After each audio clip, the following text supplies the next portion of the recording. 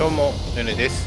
メビウスファイナルファンタジー PC 版、フェイタルコーリング FF7 コラボ第2弾です。ニブルヘイム編ですね。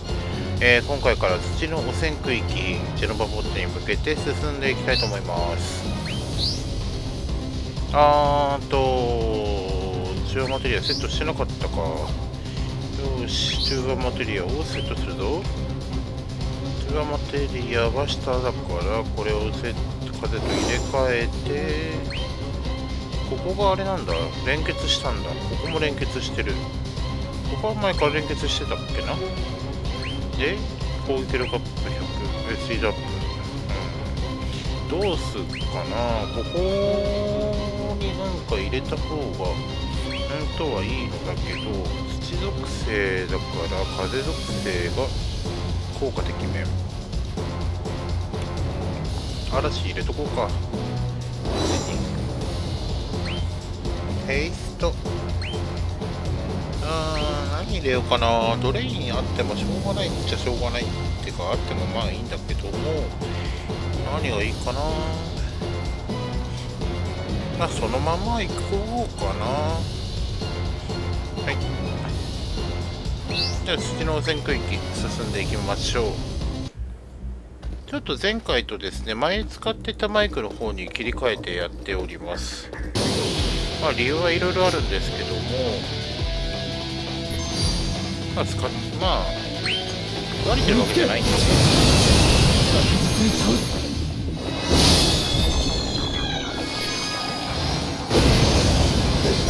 で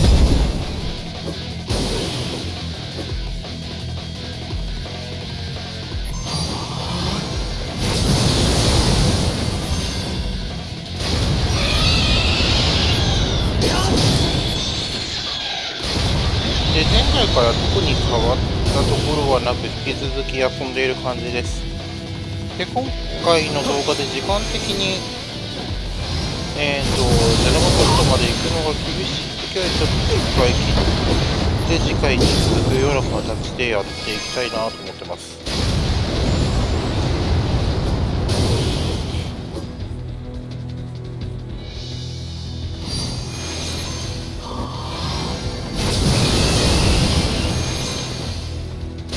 さっきね、12時切り替わりで、えーデイリーミッション更新されたので、それも含めてね、やっていっちゃおうかなっていう感じですが。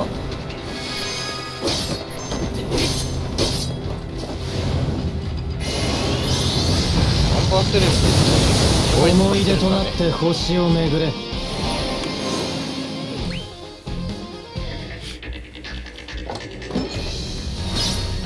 第一かける5エリクサー。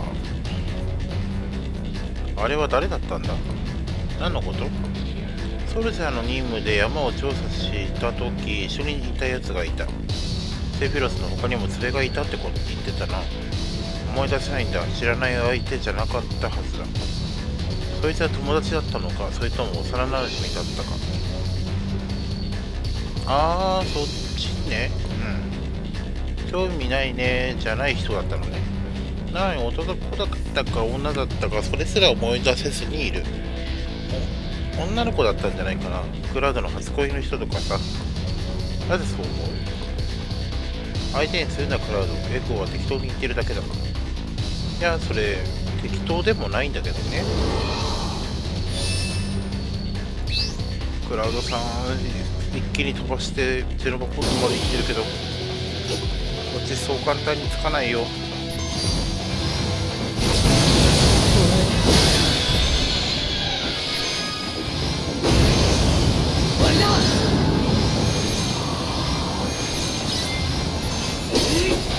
星に帰るまで。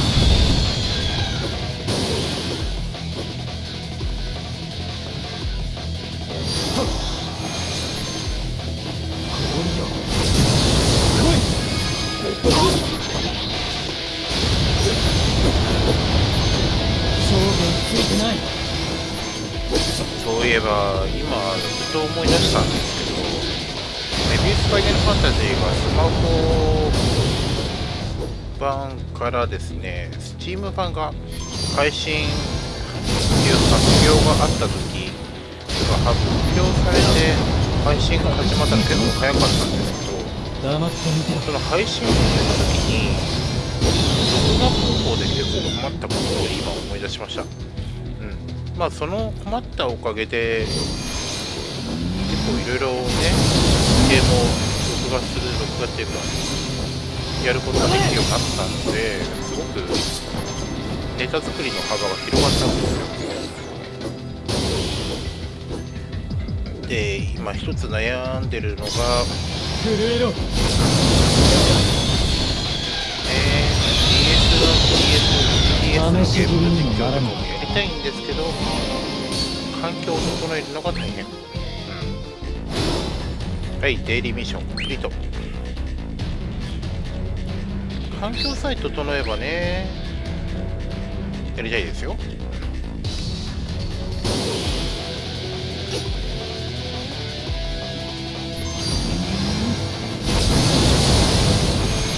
クエアエニックさんの作品も何本かやりたいなっていう。まあその他の会社の作品でっていうのもあります。ただなやっぱり環境を整えるっていうのが大変なんですよねあれね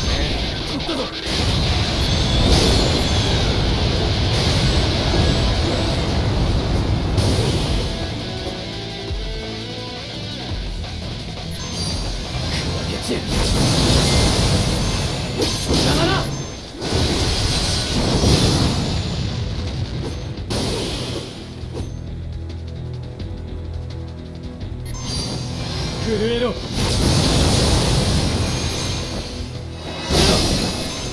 備えて公式でテレビにね映し出して遊ぶこともできるっていうツールがあればいいんだけどね。まあそれがスイッチなのかもしれないです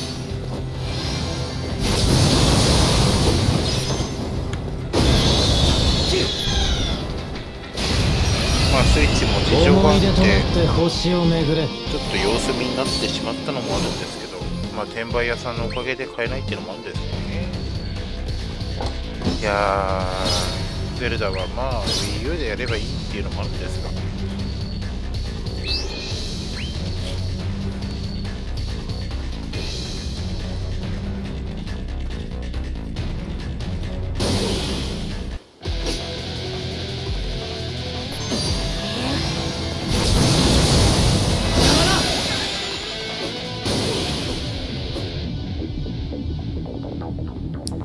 なんていうかあれですね。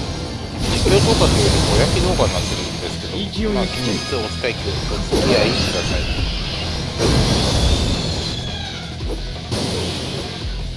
えーこれをご覧になっている方は、任天堂 switch で予約されたんでしょうか。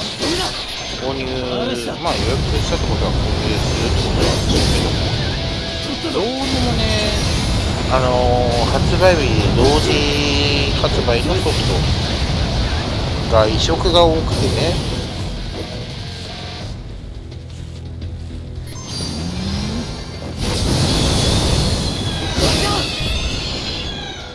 まあ、それだったら、ね、もう出てるやつ、出てる、興味があるんだったら出てるやつ買えばいいじゃん。っていう話なんですけど、まあ、出てる、は出てる対応ハードを持ってないんであれば、同時に買ってもいいんじゃないとは思いますけどね、遊んでないんであれば。持っていて、そのスイッチに合わせて買う買おうかなと思ってる。っていうのは本当そのソフトが好きな人になるのかなって思いますけど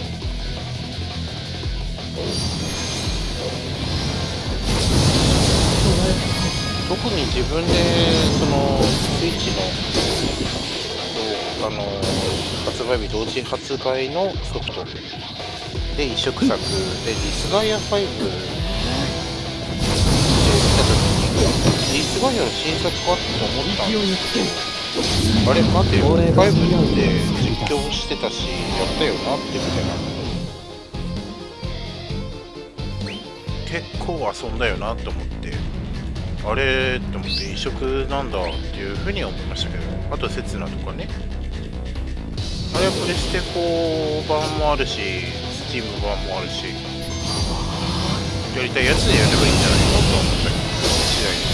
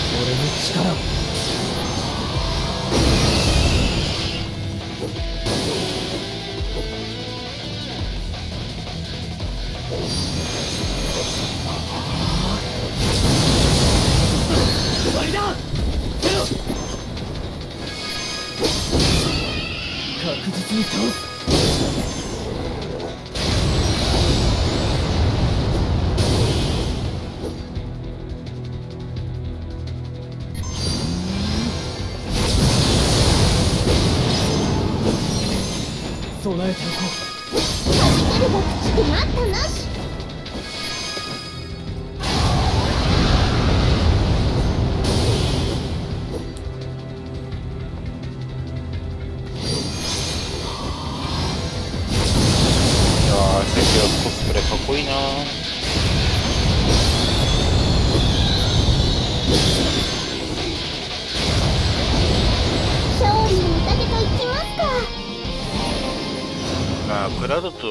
会話イベントの時のちょっとした違和ちょっとした？ではないけど違和感がね。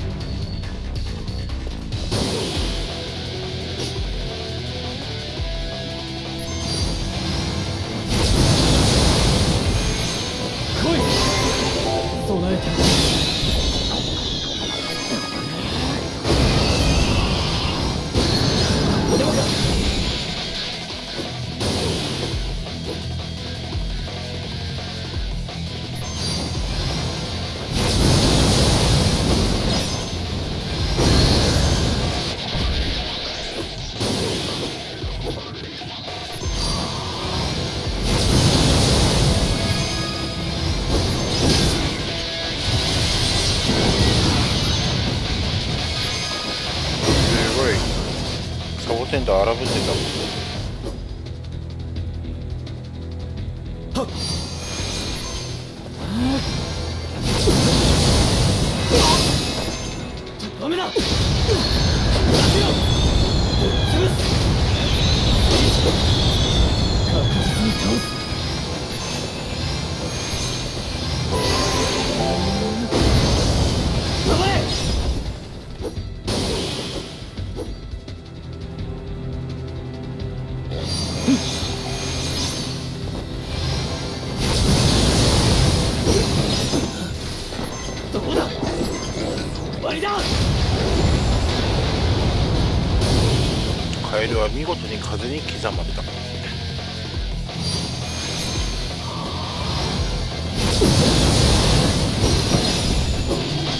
思い出となって星を巡れ。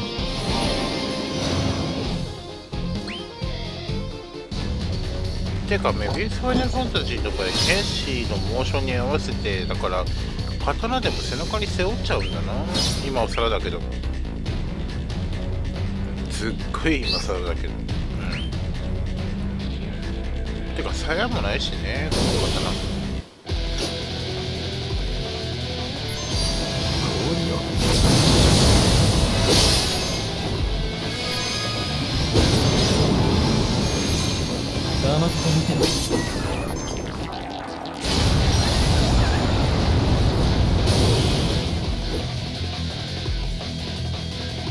ふっ砕け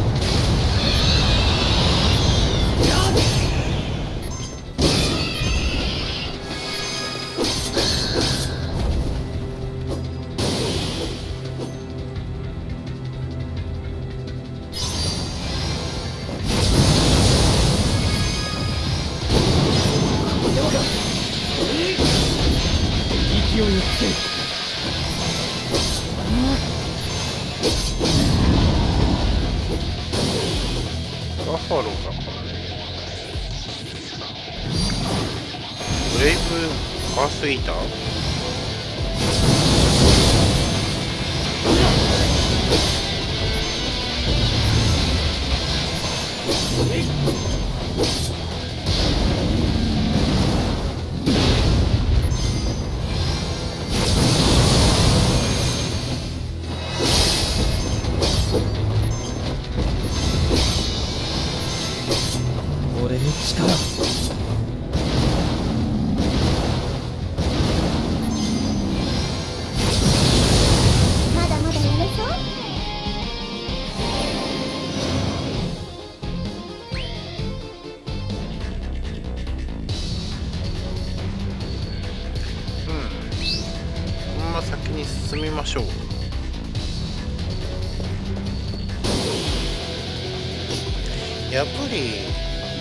前の動画の時にも言ってたんですけどサファイアウェポンのカードはまあ16個水エレメント出すっていうのも効果もあるのでやっぱりヒーダーに装備させて水強化43%まで来てるんでであとジョブ固有のアビリティとかの強化も乗っけて使った方がいいな攻撃とかで。そ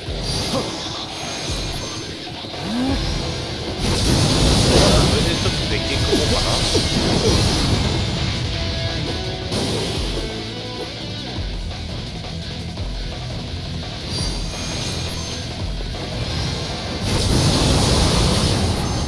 備えておこ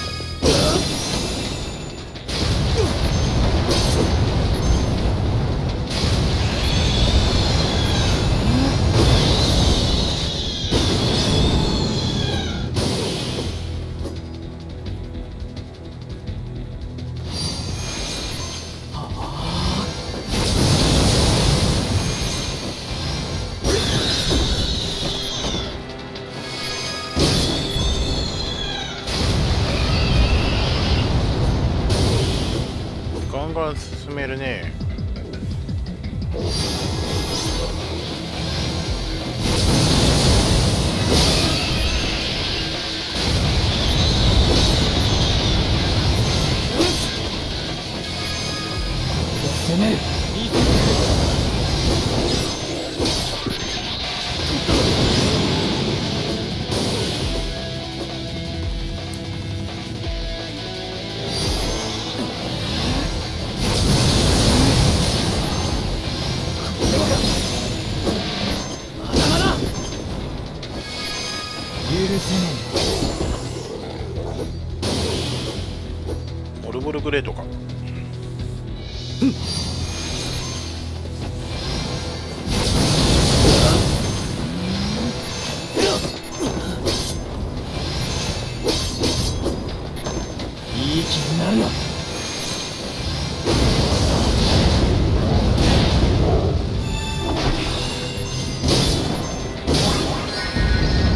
星に帰るが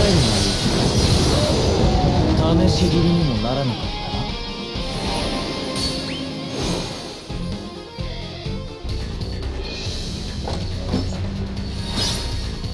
たちょっとデッキ組んでみようかティーダ。組むっていうかさここにあるやつを入れ替えてえーとどうしようかな。非属性外してオメガ入れようか。オメガじゃねえよ。サファイアウェポン入れようか。でセットとして入れてるのはビスマルクです。水の全体攻撃プラス強撃の威力特化型って言えばいいのかな。特になんていうか弱体効果付きのものはありません。でフシンフラニティフラタニティか。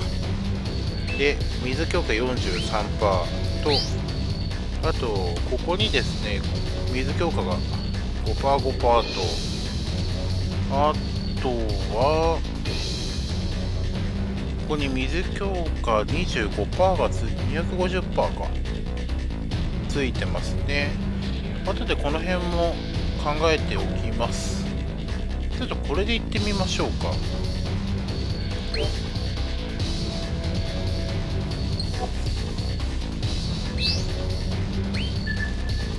エリクサいっぱいあるから使います。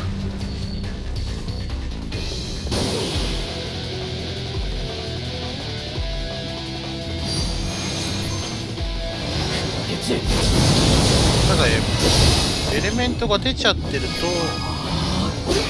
使いにくいから注意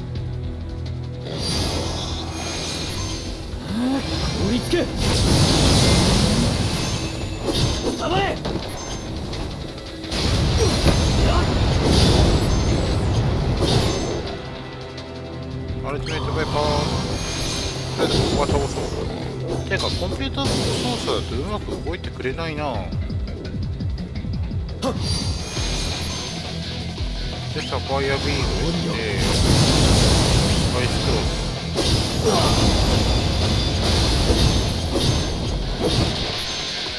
でこういうのを消しちゃって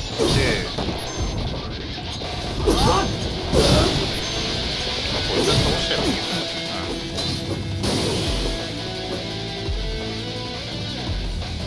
うんでこれも使っちゃってサファイアビームナイスクロス。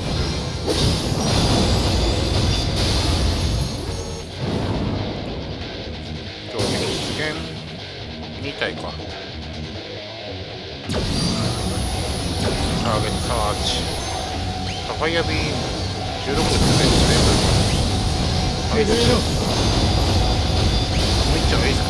ロスアイスク3連発ぐらいできるな。楽勝っすねやっぱいいかもしれないな。ティードにとっては。ブレイクパワーアップ。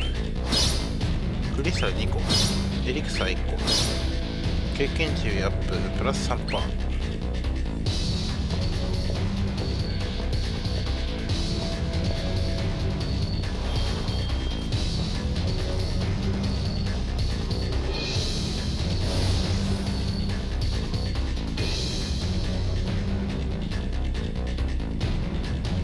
かなり体力が戻ったようだが過信はするなよ。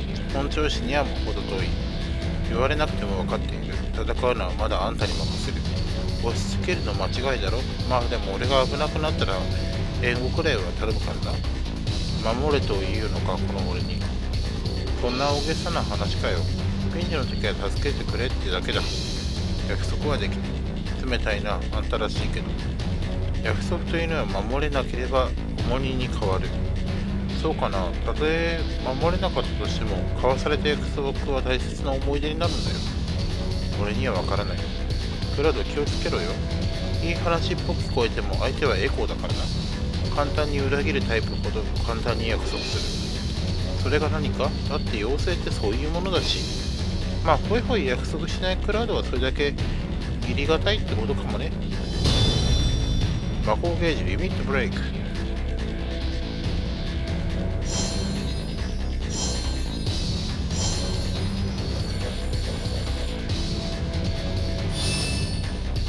えーと次はこっちの中和マテリア光の方に進めってことですね。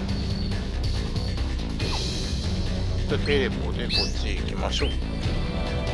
はい。というわけで今回はここまでにしたいと思います。チャンネル登録高評価とよろしくお願いします。ご視聴ありがとうございました。